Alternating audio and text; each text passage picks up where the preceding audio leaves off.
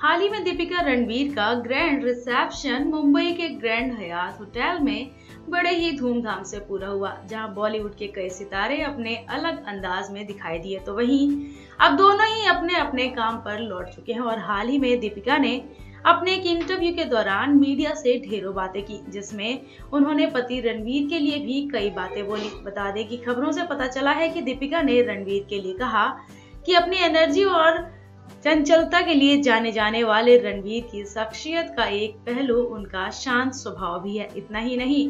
उन्होंने आगे कहा कि रणवीर बहुत इंटेलिजेंट हैं और कभी कभी बच्चों जैसे भी बन जाते हैं और इसका ये मतलब नहीं, हमेशा नज़र आने वाली चंचलता और एनर्जी उनके पर्सनैलिटी का हिस्सा नहीं है, लेकिन उनका शांत स्वभाव भी उनके व्यक्तित्व का एक अन्य पहलू है। बता दें कि रणवीर सिंह को ज़्यादातर कई इवेंट्स में काफ़ी एनर्जेटिक और मस्ती भरे अंदाज में देखा जाता है तो इसलिए आखिरकार दीपिका ने बता ही दिया कि रणवीर असल ज़िंदगी में कैसे हैं।